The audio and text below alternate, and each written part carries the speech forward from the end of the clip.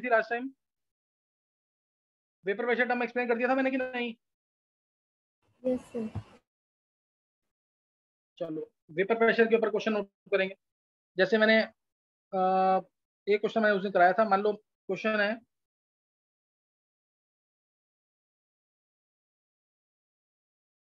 यहाँ पे लिक्विड है। और उसको ट्रांसफ़र कर दिया मैंने बड़े वेसल के अंदर। सेम लिक्विड को बड़े वेसल में ट्रांसफ़र कर दिया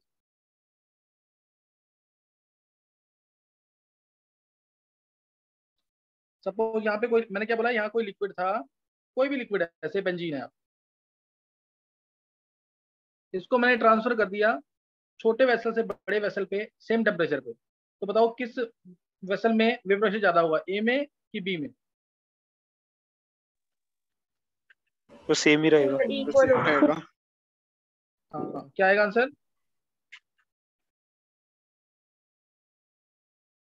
दोनों में क्या होगा?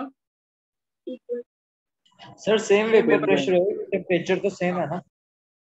हाँ टेम्परेचर सेम है टेम्परेचर सेम है लिक्विड सेम है। दो फैक्टर थे जिसपे वेपर प्रेशर डिपेंड करता था। Nature of liquid liquid same है। टेम्परेचर पे डिपेंड करता था टेम्परेचर सेम है। So vapour pressure will remain the same और इवेपोरेशन किसमें ज़्यादा होगा? बी में। बड़े वाले में। इवेपोरेशन ज़्यादा होगा बी में। ये चीज़ देखना वेपर प्रेशर इवेपोरेशन ये डिफरेंस आ गया यहाँ पे।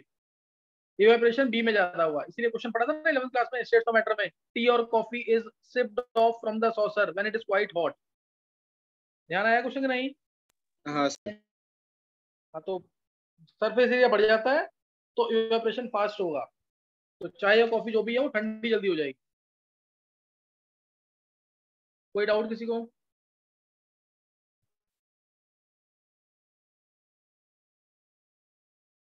चलो, एक क्वेश्चन और लेते हैं ऐसे ही। आंसर देना देखते कौन आंसर देगा वेपर क्वेश्चन से रिलेटेड है। बस यही एडवांटेज है, अगर तुम लोग ढंग से सिंसियरली बहुत ऑनेस्टली पढ़ रहे हो खुद यहाँ पे घर पे तो मैं अपने नए क्वेश्चन पूछ सकता हूँ और थ्योरी को हम जल्दी कवर कर सकते हैं। लेकिन अगर तुम घर पे पढ़ रहे हो तो मान लिया मैंने ये कोई क्लोज चैम्बर है। दो वेसल रखे हैं यहाँ पे। अब ध्यान से ध्यान सुनेंगे। Equal weights of two non-electrolytes two non-electrolyte solids one and two are dissolved in two different vessels a and b respectively समझ गए कि नहीं है a और b दो वेसल थे a और b इक्वल वेट डिसॉल्व कर दिया हमने इस लिक्विड में भी नॉन इलेक्ट्रोलाइट है ये 100 ml इधर पानी था 100 ml इधर और इन दोनों में equal weights of two substances dissolved है क्लियर इन दोनों में equal weights of two different substances dissolved है। क्वेश्चन यहाँ तक समझ आ गया कि नहीं? At constant temperature yes sir अब इसने बोला इक्विलिब्रियम पे। अब इसने क्या बोला? इक्विलिब्रियम पे ए का जो वॉल्यूम है वो हो गया 80 एम एल बी का जो वॉल्यूम है वो 120 एम एल हो गया।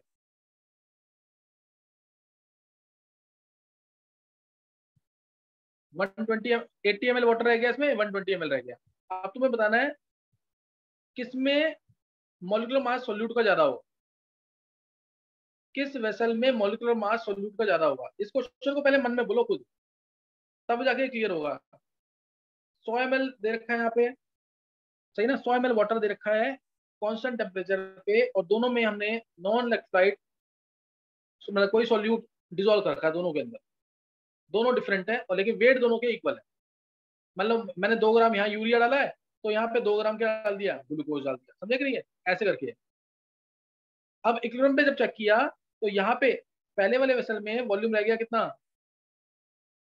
पहले में कितना रह गया? 80 एम दूसरे में आया 120 एम तो तुम्हें बताना है किस वेसल में ग्रेटर मोलिकुलर मास था सोल्यूट का। आंसर तो सोच के इसका।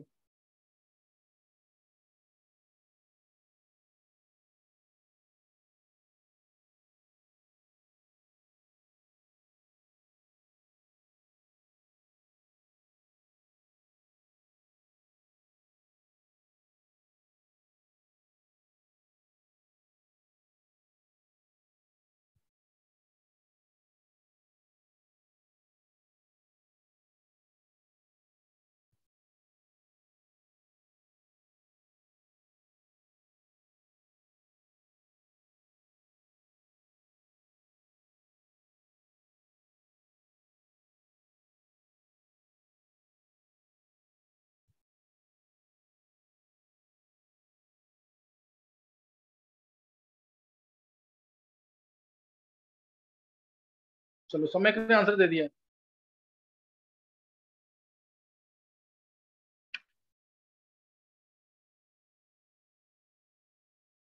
विधि का भी आ गया आंसर।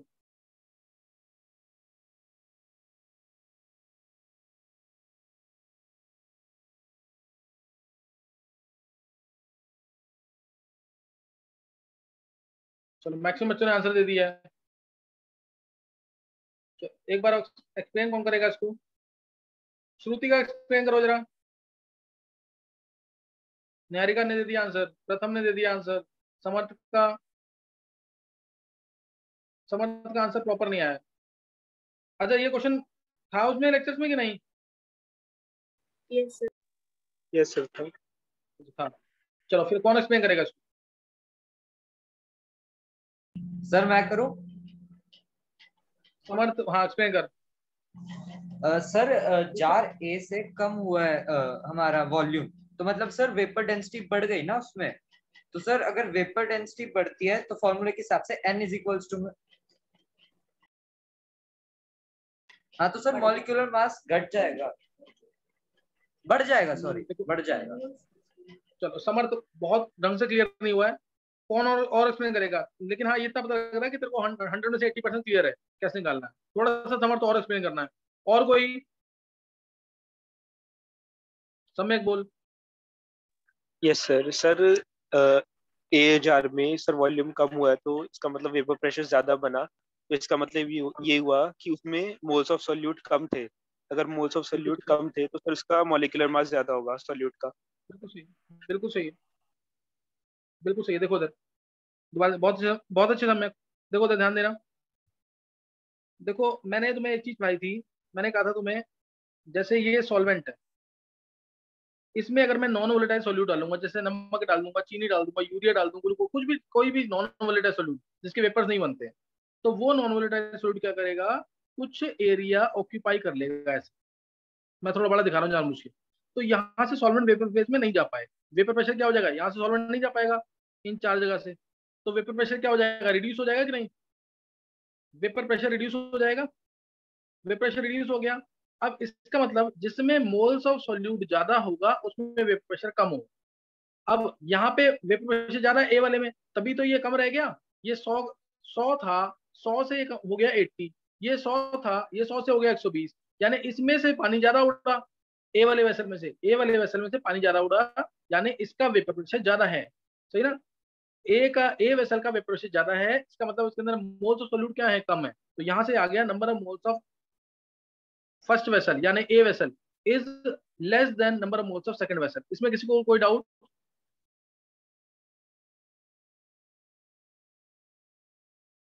इसमें पानी ज़्यादा उड़ गया ना, इसका मतलब इसमें क्या था? सोल्यूट कम थे। सोल्यूट ज़्यादा होते तो पानी ना उड़ पाता। अगर यहाँ सोल्यूट पूरा भरा होता ऐसे तो पानी एस्केप भी नहीं कर पाता। अभी तो इसमें पानी उड़ गया है। पानी उड़ गया है इसका मतलब क्या है? इसमें मोल्स ऑफ़ सोल्यूट क्या है? कम है। और इसमें मोल्स ऑफ़ सोल्यूट क्या है? ज़्यादा है। नहीं समझ आ रही बात अब भी? समर्थ। यस सर आ गई। हाँ, तो नंबर ऑफ़ मोल्स फ़र्स्ट के अंदर ज़्यादा है। अब फ़र्स्ट के अंदर ज़्यादा है और ये पता है हमें मास ऑफ़ फ़र्स्ट अपॉन में मॉलिक्यूलर मास ऑफ़ फ़र्स्ट होगा। Less than mass of second by में मॉलिक्यूलर मास ऑफ़ सेकंड अब मास दोनों के क्या है? मास दोनों के क्या है? इक्वल है इक्वल कि नहीं? Equal weights of two substances तो इसका मॉलिक्यूलर मास फ़र्स्ट का ज़्यादा हो गया सेकंड से। नहीं समझ रही बात अब भी? बोलो। डाउट किसी को? सर हम बोल समझ। सर ये भी तो होता है कि अगर वेपर प्रेशर बढ़ता है तो मॉलिक्यूलर मास भी तो ज़्यादा हो जाता है ना? तो अगर मैंने वे, वेट दे रखे ना मोल्स देखते हैं मोल्स मॉलिक्यूलर मास ही देखते हैं मोल्स देखते हैं। क्या रखेंगे? मोल्स सॉल्यूट के मोल्स देखेंगे। सही है समर्थ? यस सर बस ये अंदाज़ा है कि मॉलिक्यूलर मास ज़्यादा होगा तो मोल्स कम होंगे। ये अंदाज़ा है। चलो अब नेक्स्ट नोट करना है, बहुत ही इंपॉर्टेंट टॉपिक क्या है? रोल्स लॉ मतलब तुम ये कह सकते हो कि चैप्टर की स्टार्टिंग यहाँ से। अभी तक सारा पीछे का जो था, वो तुमने पढ़ रखा है। मतलब मोर और लेस कहीं ना कहीं तुमने पढ़ रखा होगा। लेकिन यहाँ से हमारा चैप्टर स्टार्ट होगा रोड्स लॉ कौन बताएगा रोड्स लॉ क्या है? हर्षित, मुकुल, सारे होमवर्क भेज रहे हैं कि नहीं? सर किसी ने नहीं भेजा। सिर्फ़ समय को प्रथम गौरव ने भेजा मैंने समय को भेज दिया। और किसी का नहीं है तीन बच्चों ने होमवर्क भेजा। तीन हाँ, बच्चों ने और मैंने भी भेज दिया था समय को। अच्छा चार बच्चे टोटल तुमने जिन्हें होमवर्क भेजा है। हाँ। और अनन्य नहीं और बाकी गर्ल्स में कौन चेक कर रहा था? Ritika. Ritika? Yes sir homework किसने भेजा है? सर न्यूमेरिकल्स तक सबके आ गए थे। न्यूमेरिकल सबके आ गए। और बाकी इलेवंथ वाला काम? और ये जो नोट्स बनाने थे इसके सॉल्यूशन चैप्टर के? सर अभी लेटेस्ट वाले नहीं आए किसी का। लेटेस्ट वाला किसी का भी नहीं आया? एक काम करना है अब से तुम्हें सबको मैं बस लास्ट वार्निंग दे रहा हूँ फिर मैं पेरेंट्स से बात करूँगा डायरेक्ट तुम लोग पता है लाइफ को बहुत कैजुअल ले रहे हो। ऐसे थोड़ी पढ़ाई होती है ऐसे करोगे तो कोई फ़ायदा नहीं फिर मैं पढ़ाऊँगा ही नहीं बिल्कुल भी। मैं मतलब कैसी भी सिचुएशन है, मैं ट्राई करता हूँ, तुम्हारी क्लास ज़रूर ले लूँ। कहीं पे भी मेरे को टाइम मिलता है। और बस दिमाग में यही है कि तुम्हारा सिलेबस थोड़ा जल्दी खत्म करा के पेपर्स लूँ बहुत सारे। तुम लोग पढ़ ही नहीं रहे आंसर ही नहीं मिल रहे। एक क्वेश्चन अलग से दिया हेनरीज लॉ का किसी का आंसर नहीं निकला है।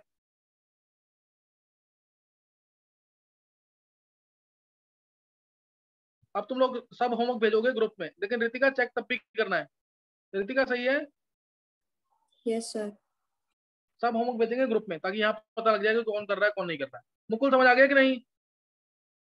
हाँ सर। मुकुल लेकिन चेक तब भी करना है मैं दोबारा बोल रहा हूँ। कोई नहीं बता मैंने बोला ना कि रितिका फिर भी भेज देती है तेरा कम आता है मेरे पास कि होमवर्क किसने भेजा अभी मैं समय को भेजता हूँ ना। अच्छा नहीं मैं तेरा होमवर्क नहीं कर रहा मैं कह रहा हूँ कि जैसे कि जिसने होमवर्क नहीं भेजा मेरे पास नाम भेज देगा ज़रूर। अच्छा हाँ सर भेज दियो तो मैंने। हाँ तूने भेजा है इस बार मैं मना नहीं कर रहा हूँ लेकिन बस इसमें और अलर्ट हो जा इलेवंथ का होमवर्क नोट्स बनाने वाला होमवर्क और जो न्यूमेरिकल्स वाला है। ये हाँ, काम ज़रूर करो सब। मैंने मतलब कि दो या तीन बच्चे ही सुना रहे होंगे इलेवंथ के चैप्टर मैंने जबकि पूरे सब बच्चों को बोला था कि दस दिन में एक चैप्टर इलेवंथ का ज़रूर करो जो पुराने बच्चे मेरे पढ़े हुए हैं सारे। नहीं तो टाइम अपने आप निकल जाएगा पता भी नहीं लगेगा। लाइफ को कैजुअल मत लो बिल्कुल भी।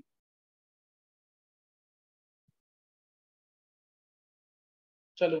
अच्छा अभी लॉ हम पढ़ रहे हैं रोल्स लॉ की डेफिनेशन किसी को याद नहीं है।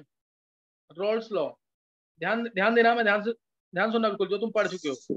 पहले तुमने इलेवंथ क्लास में पढ़ा डाल्टन्स लॉ डाल्टन्स लॉ में दो नॉन रिएक्टिंग गैसेस थी। ध्यान सुनना डाल्टन्स लॉ में दो नॉन रिएक्टिंग गैसेस थी, जैसे N2 और O2 N2 और हीलियम जो आपस में रिएक्ट ना करे। जो आपस में रिएक्ट ना करे है ना? N2 helium helium neon neon argon इस टाइप से। तो हमने बोला प्रेशर जो टोटल होगा, वो प्रेशर ऑफ़ N2 होगा प्लस प्रेशर ऑफ़ O2 होगा। और प्रेशर ऑफ़ N2 निकालना है तो वो होगा X N two into total pressure याद है कि नहीं है ये दिस वॉज़ डाल्टन लॉ जो कि नॉन रिएक्टिंग गैसेस के लिए था। डाल्टन लॉ किसके लिए था? नॉन रिएक्टिंग गैसेस के लिए। फिर पढ़ा हमने हेनरीज लॉ अभी पढ़ा हेनरीज लॉ इलेवंथ में पढ़ा था। फिर पढ़ा हमने हेनरीज लॉ हेनरीज लॉ किसके लिए था? गैस को जब पानी में डाला, ये क्या था? दोनों गैसेज हैं। अब क्या है? गैस को डाला पानी के अंदर। गैस इन लिक्विड के अंदर। अब क्या है? गैस इन लिक्विड के अंदर। तो हमने फॉर्मूला पढ़ा, प्रेशर ऑफ़ एन टू अगर है तो वो होगा K N two into X N K N two into X N ये पढ़ा हमने Henry's law this was Henry's law अब हम पढ़ने जा रहे हैं रोल्स लॉ रॉल्स लॉ किसके लिए है? फॉर टू मिसिबल लिक्विड्स ध्यान रखना मिसिबल लिक्विड यानी जो आपस में मिक्स हो जाते हैं। यानी जो आपस में मिक्स हो जाते हैं। जैसे मैं अगर बोलता हूँ बेंजीन प्लस टोल्यूम जिसमें ऑलमोस्ट इक्वल फोर्सेस है। जो आपस में मिक्स हो जाते हैं बेंजीन प्लस टोल्यूम सही ना? जो आपस में मिक्स हो जाते हैं, मैं उनकी बात कर रहा हूँ। तो इस केस में, मान लो ये ए है, ये बी है। तो प्रेशर ऑफ़ ए जो होगा, वो वही होगा एक्स ए एक्स इसमें भी आया एक्स इसमें भी आया। इनटू बस के की जगह आ जाएगा P naught A P naught A यानी vapour pressure of pure benzene ये तो मिक्सचर के अंदर बेंजीन प्लस टोल्यूम यानी मिक्सचर के अंदर ये होगा बेंजीन का प्रेशर मैं बेंजीन को ए मान रहा हूँ। और ये बेंजीन जब अकेले प्रेजेंट है, ध्यान रखना, इन दोनों में डिफ्रेंशिएट नहीं कर पाते बच्चे। प्रेशर ऑफ़ ए क्या है? जब बेंजीन मिक्सचर के अंदर है, यहाँ पे बेंजीन प्लस टोल्यून दोनों है। और पी नोट ए क्या है? जब बेंजीन अकेले, सिर्फ़ यहाँ पे बेंजीन है। ओनली बेंजीन इज़ एयर नहीं समझ आई बात अब भी?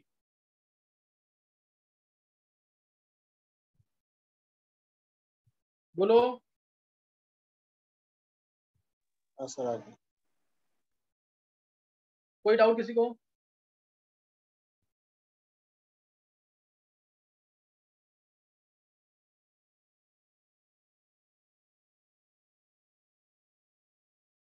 चलो ध्यान समझ आ गए तीनों लॉज की नहीं है?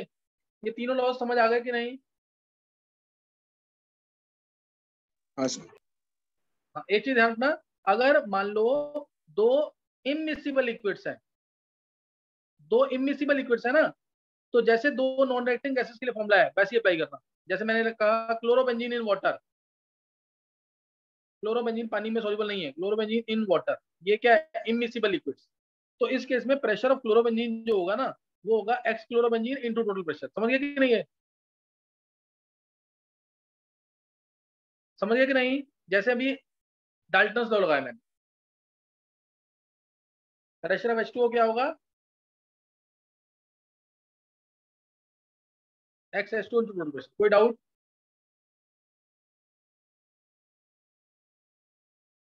नहीं सर आगे समझ के नहीं?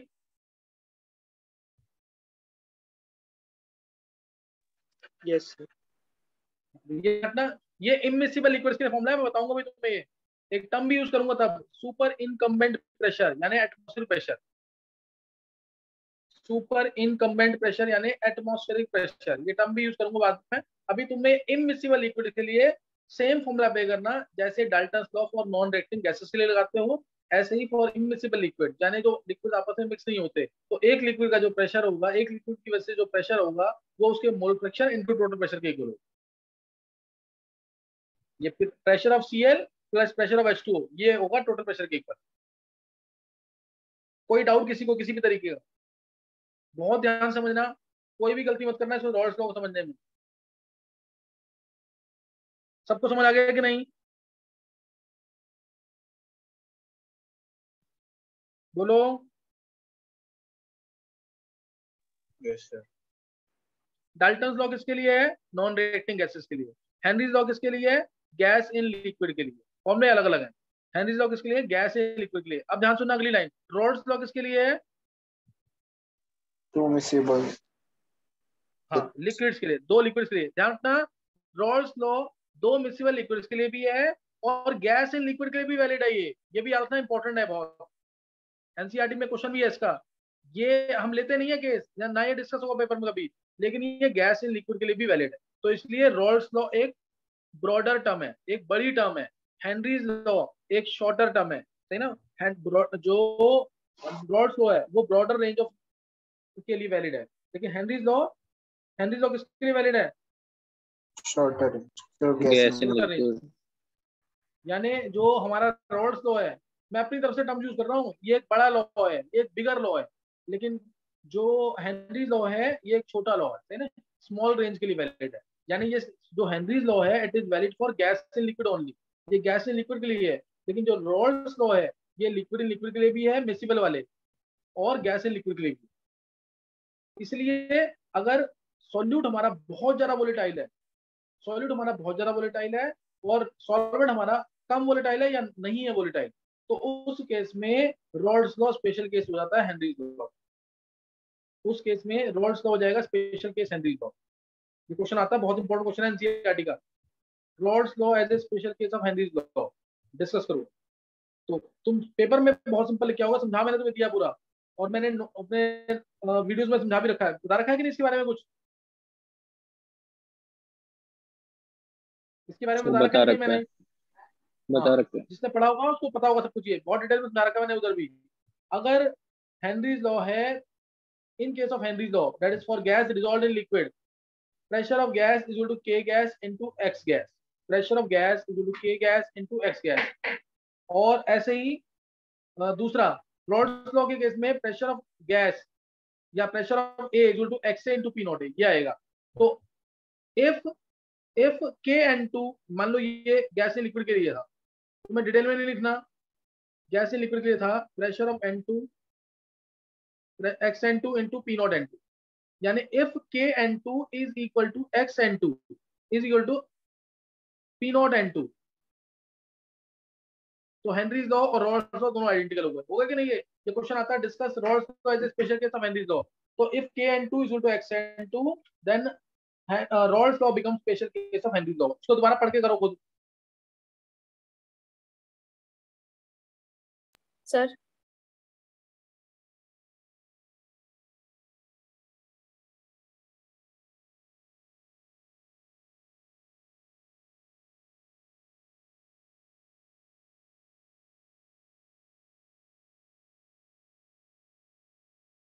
समय ऑफ़ हो गया हाँ बोलो किसे क्या बोला है?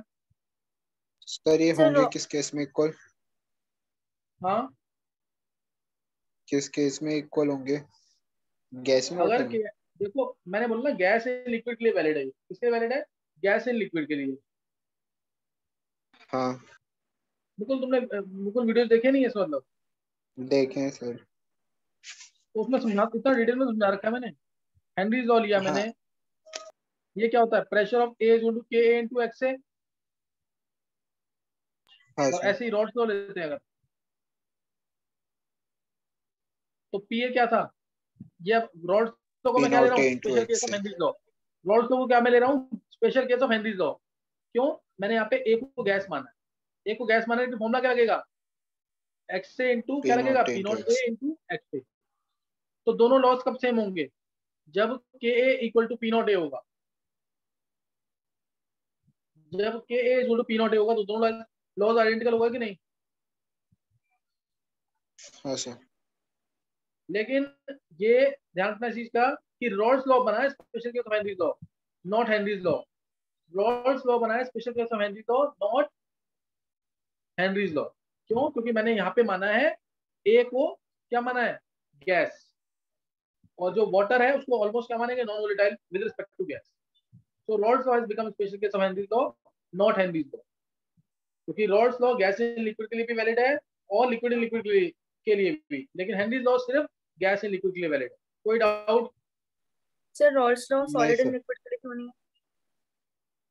कुछ sublime solid solid and liquid के लिए क्यों नहीं? ये कौन पूछ रहा है? सर विधि। सर कुछ सॉलिड सब्लाइम भी तो होते हैं तो उनके वेपर्स बन सकते हैं। हाँ तो जो सबलाइम है उसकी बात अलग हो गई विधि को तो एक्सेप्शन केस आ गया ना? ओके सर हाँ, वो एक्सेप्शन केस आ गया? अभी डाउट किसी को? ये कर लेना Raoult's law special case of Henry's law important question है ये। तुम लोगों ने वीडियोस देखे नहीं है सबने क्या पुराने? जो मैंने भेजे हैं। उसमें सारा मैंने बहुत डिटेल में एक्सप्लेन कर रखा है सब कुछ।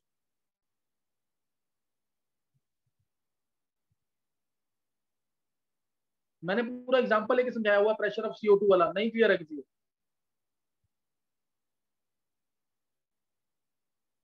नहीं ध्यान है। ये मैंने एक्सप्लेन कर दिया स्कूल में तुम यही लिख के आओगे टू मार्क्स में तुम्हें मिल जाएगा टू मार्क्स में मिल जाएँगे इसके अंदर कोई दिक्कत नहीं आएगी ऐसी। मैंने उसमें तुम्हें तुम बहुत क्लियर मैंने बताया कि ब्रॉडर रेंज है जो बिगर लॉ है रॉल्स लॉ मान लो मैं एक एग्जांपल ले लेता हूँ। मैंने पूरा प्रॉपर एग्ज़ाम्पल लेके समझाया हुआ है। रॉल्स लॉ में मान लो CO2 को मैंने पानी में डिजोल्व किया। CO2 को मैंने पानी में डिजोल्व किया। रॉल्स लॉ के अकॉर्डिंग प्रेशर ऑफ़ CO2 होगा x CO2 into P naught CO हुआ कि नहीं है यस सर ये हो जाएगा। अब प्रेशर ऑफ़ H2O क्या होगा? X H two into P naught H two हुआ कि नहीं? यस yes, सर लेकिन ये क्या होगा? ज़ीरो क्यों ज़ीरो है? क्योंकि हम वाटर को क्या मान रहे हैं? Non volatile with respect to CO2 हम इसको क्या मान रहे हैं? Non volatile with respect to CO2 तो ये खत्म हो जाएगी टर्म की नहीं। मैंने ऐसे एक्सप्लेन किया है ना पूरा। यस सर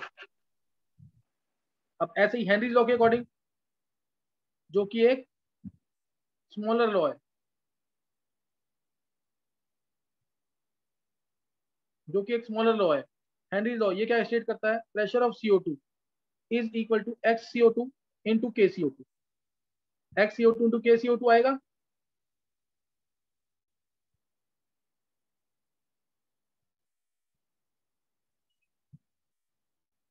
बोलो। यस सर इसलिए हो गया कि नहीं?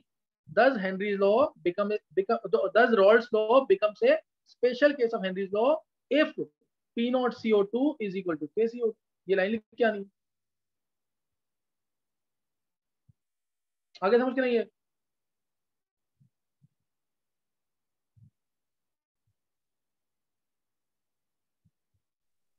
यस सर कोई डाउट किसी को? यहाँ पे हमने सॉल्वेंट को नॉन वोलेटाइल माना था वाटर वोलेटाइल होता है। लेकिन हम क्या मानेंगे? With respect to C O two it will be considered as non volatile पानी में CO2 गैस प्रेजेंट है तो अगर तुम एक घंटा रख दो ऐसे ही उसको तो CO2 गैस उड़ जाएगी कि नहीं? कोल्ड ड्रिंक्स में चेक कर सकते हो ना इस चीज़ को?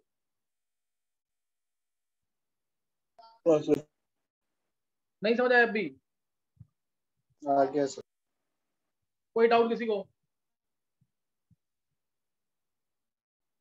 ये इंपॉर्टेंट क्वेश्चन है वन मार्क में या टू मार्क में आ सकता है पेपर के अंदर। मैंने पेपर में क्या लिखना है उसको भी बता दिया है और समझा दिया पूरा डिटेल में। तो उसको कर लेना ज़रूर। किसी को कोई डाउट नहीं होना चाहिए इसके अंदर। नेक्स्ट नोट करेंगे आप। नेक्स्ट नोट करेंगे रोल्स लॉ जो है, उसको समझेंगे एक बार। हमें रोल्स लॉ ही करना है। ये मान लिया मैंने ए और बी दो लिक्विड मिक्स है। यहाँ पे ए और बी दो मिक्स दो लिक्विड है जो मिक्स हुए पड़े ए लिक्विड और बी लिक्विड सही ना? ये दोनों मिक्स किए हैं। अब ए का मोल फ्रैक्शन मैंने मान लिया एक्स से बी का मोल फ्रैक्शन मान लिया X B this is in liquid phase X से और एक्स बी यहाँ पे मोल फ्रैक्शन है लिक्विड फ़ेज़ में। ए और बी दोनों के दोनों मिसिबल लिक्विड्स हैं। ए और बी दोनों के दोनों क्या है? मिसिबल लिक्विड्स अब इनके वेपर्स बनेंगे। अब इनके क्या बने? वेपर्स बने। यहाँ जो मोल फ्रैक्शन होगा ए का और बी का, वो होगा वाई ए और वाई यहाँ जो मोल फ्रैक्शन होगा वाई ए वाई बी होगा। अब तुम्हें ये पता होना चाहिए पी ए जो होगा, ध्यान रखना पी ए जो होगा, वो होगा X A into P naught A किसी को कोई भी डाउट पी नॉट ए क्या है? अकेला ए प्रेजेंट है सिर्फ़। तो यहाँ जो वेपर बनेंगे, सिर्फ़ ए के बनेंगे। ओनली ए इज़ प्रेजेंट अकेला बी है तो बी के वेपर बनेंगे। यहाँ पे पी नॉट भी आएगा। समझ आ रही बात की नहीं? है P H into X into P naught A है, और ऐसे ही पी बी क्या होगा? X B into P naught B कोई डाउट किसी को भी? किसी को कोई भी डाउट किसी भी तरीके का पूछ सकते हो यहाँ पे। कंसेप्ट ज़रूर क्लियर करना। बोलो यहाँ पे P H into X into P naught A P A क्या है? Partial pressure of A in mixture of A and B P B क्या है? Partial pressure of B in mixture of A and B किसी को कोई भी doubt है तो पूछ सकते हो। बोलो।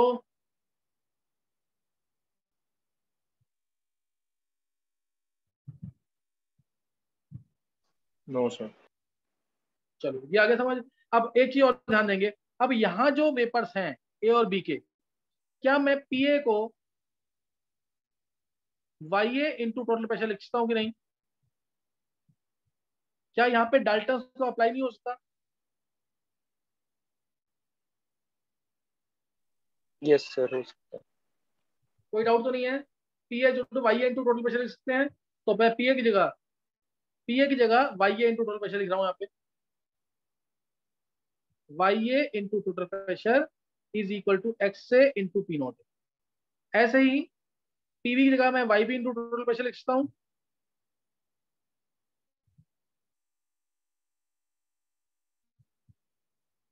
इक्वेशन वन इक्वेशन टू दोनों को डिवाइड कर देंगे तो वाई ए अपॉन में वाई बी क्या आ जाएगा? एक्स ए अपॉन में एक्स बी ये बहुत इंपॉर्टेंट फॉर्मूला बहुत इंपॉर्टेंट फॉर्मूला है which relates both the mole fraction that is mole fraction in liquid phase and mole fraction in gaseous phase vapour phase ये जो पीए का फॉर्मूला लगाया मैंने यहाँ पे, ये है रोल्स लॉ और यहाँ जो पीए का फॉर्मूला लगा ये P A to Y A to total pressure ये क्या है? डाल्टन कोई डाउट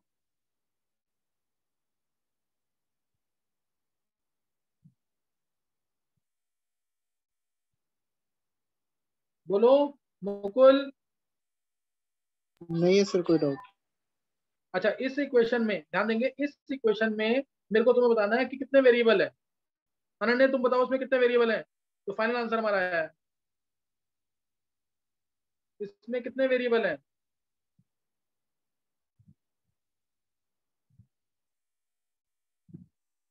हाँ विधि सही है।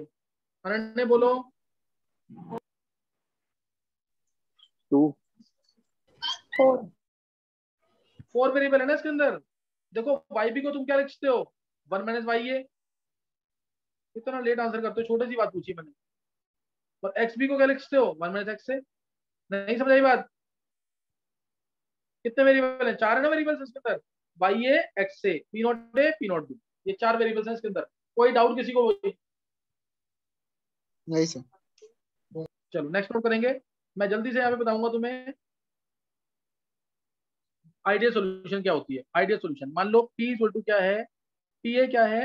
X A into P naught A mix करने के बाद पी बी क्या है? X B into P naught B P A क्या है? X A into P naught A P B क्या है? X B into P naught B तो पी क्या आ जाएगा? P A plus P B X A into P naught A plus X B into P naught बहुत important equation सारे number कैसे करोगे बोर्ड में जो आएँगे, इसी इसी से होंगे। सारे न्यूमेरिकल्स इसी से होंगे, ध्यान रखना चीज़ का। P is to P A plus P B किया मैंने तो पी ए की वैल्यू पर सपोर्ट कर दी पीबी की वैल्यू पर सपोर्ट कर दी, ये आ गया। ये आ जाएगा यहाँ से। अब इधर से मैं एक्स को या तो वन माइनस एक्स बी लिख सकता हूँ, या एक्स बी को वन माइनस एक्स से लिख सकता हूँ। कोई डाउट तो नहीं है? नो सर एक्स से into P naught A plus X B को लिख दिया वन माइनस एक्स से इंटू पी नॉट बी यहाँ से लिया कॉमन एक्स ए को तो ये आ गया P naught A minus P naught B plus P naught B कोई डाउट इक्वेशन आ गई Y to M X plus C की फॉर्म की एम एक्स प्लस सी की फॉर्म कोई डाउट किसी को? इक्वेशन यहाँ पे आ गई Y to M X plus C की फॉर्म अब इसका कर्व बना रहा हूँ आइडियल सोल्यूशन आइडियल सोल्यूशन का कर्व बनेगा यहाँ पे। इस कर्व को दो दो बार सबको बना के भेजना, ध्यान सीखो इस कर्व को। दो दो बार सबको बना के भेजना। है सही ना? तो partial pressure versus mole pressure इसको मैं आगे यूज़ भी करूँगा। पार्शियल प्रेशर वर्सेस नीचे मोल फ्रैक्शन मोल फ्रैक्शन में मान रहा हूँ, नीचे यहाँ पे एक्स से टू से ज़ीरो है। एक्स से ज़ीरो होगा तो एक्स क्या होगा? वन एक्स से ज़ीरो तो एक्स बी वन ढंग से एक्स बी वन इधर क्या आया? एक्स से टू वन आ गया तो एक्स बी आ गया। जी। कोई डाउट नहीं सर कोई डाउट अब अगर मैं बोलता हूँ तुम्हें T H into X into P naught A ये लाइन कैसे बनेगी? T H into X into P naught A ये लाइन कैसे बनेगी?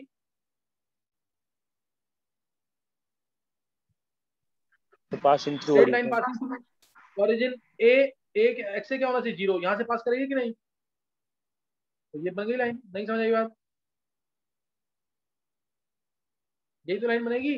और ये होगा पॉइंट पी नोट कैसे पता? क्योंकि जब एक्स को वन पुट करोगे यहाँ पे एक्स को वन पुट करोगे तो पी एच पी नोट आ जाएगा कि नहीं? इस पॉइंट पे प्योर लिक्विड ए है कि नहीं? ये लाइन समझ आएगी yes, नहीं? वाई ज़ीरो एम की फॉर्म है starting Y is equal to M form है passing through origin Y is equal to M form है पासिंग थ्रू ओरिजिन ये लाइन मिल गई सही ना दूसरी लाइन है P B to X B into P naught B P B is equal to X B into P naught B तो ये स्टार्ट होगी एक्स बी टू ज़ीरो से ये स्टार्ट होगी एक्स बी टू ज़ीरो से ये बन गई लाइन यहाँ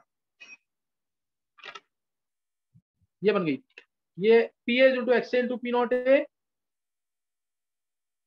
ये P B into X B into P naught B कोई doubt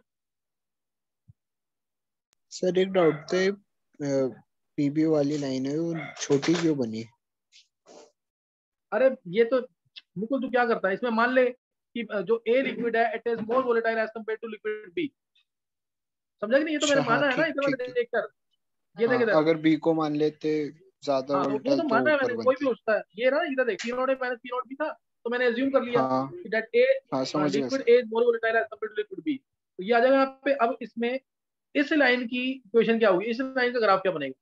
P is to x into p naught a minus p naught b plus p naught b इसका graph क्या बनेगा? इसका y इंटरसेप्ट है p naught b तो line start होगी p naught b से। और इसका स्लोप है p naught a minus p naught b तो ये लाइन ये वाली है। चेक कर लो तुम बेशक। This is equal to P A plus P this is equal to P A plus P B कोई डाउट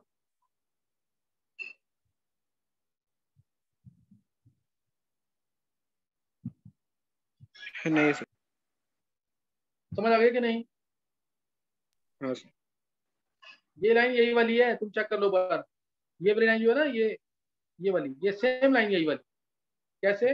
अब तुम देखो अगर मैं बोलूँ इस लाइन को ड्रॉ करो तो तुम कहोगे ये लाइन स्टार्ट होगी पी नॉट बी से। ये लाइन पी नॉट और स्लोप इसका पॉजिटिव है P naught A minus P naught B slope निकाल लो इस लाइन का।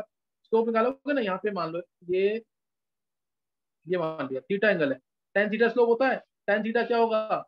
परपेंडिकुलर अपॉन में बेस ये परपेंडिकुलर है ये कितनी वैल्यू है इतनी? पी नोट में P naught A minus P naught B और ये पूरी वैल्यू कितनी है? वन है ना. मोड फ्रैक्शन वाली वैल्यू वन है।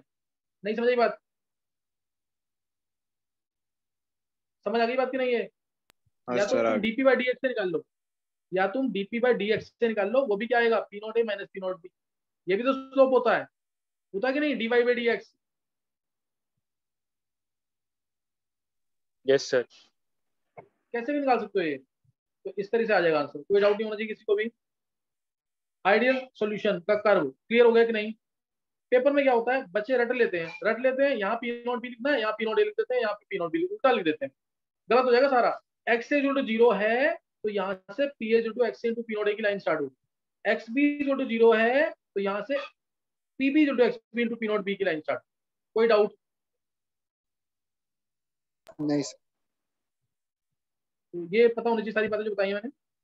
अच्छा नेक्स्ट अब ये तो आइडियल सोल्यूशन बता दी मैंने। आइडियल सोल्यूशन मतलब जैसे बेंजीन और toluene chlorobenzene bromobenzene ethyl ethanoate ethyl propanoate यानी जो एक जैसे दिखने वाले हैं, वो क्या होती है आइडियल सोल्यूशन यानी दोनों आसानी से मिक्स हो जाते हैं एक दूसरे के अंदर। वो क्या आइडियल सोल्यूशन लेकिन अगर मैं बात करूँ, जैसे क्लोरोफॉर्म प्लस एसीटोन क्लोरोफॉर्म क्या है? क्लोरोफॉर्म क्या है? पोलर एसीटोन भी क्या है? पोलर दोनों के अंदर डाइपोल डाइपोल इंटरेक्शन जब दोनों मिक्स होते हैं तो हो जाती है हाइड्रोजन बॉन्डिंग इस तरीके से। C C L C L C L H और ये C S three C O C S ये हो गए बीच में हाइड्रोजन बॉन्डिंग इन दोनों में। ये क्या हो गई यहाँ पे? हाइड्रोजन बॉन्डिंग ओ और एस के बीच। तो फोर्सेस स्ट्रॉन्ग हो गए वीक हो गए? स्ट्रॉन्ग हो गए। पहले डाइपोल डाइपोल हाँ।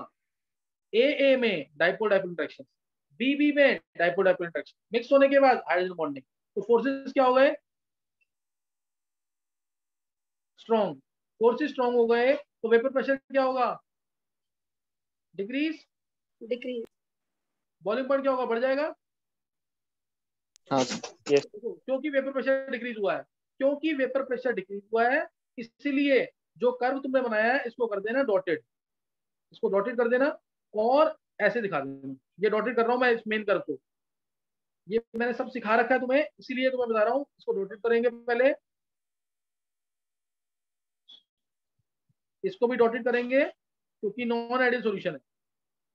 तीनों कर दिए डॉटेड और वेपर प्रेशर डिक्रीज हुआ है, इसके तीनों के नीचे कर्व दिखा देना बस। ये कर्व दिखाया बोल्ड वाला। ये कर्व बोल्ड वाला और ये कर्व बोल्ड ये नॉन आइडियल सॉल्यूशन है शोइंग नेगेटिव डेविएशन जैसे क्लोरोफॉर्म प्लस एसीटोन ये नॉन आइडियल सॉल्यूशन है शोइंग नेगेटिव डेविएशन जैसे क्लोरोफॉर्म प्लस एसीटोन ऐसे ही बनेगी दूसरी। अभी ज्वाइन करना है दोबारा। ऐसे ही शोइंग पॉजिटिव डेविएशन बनेगा। ऊपर से।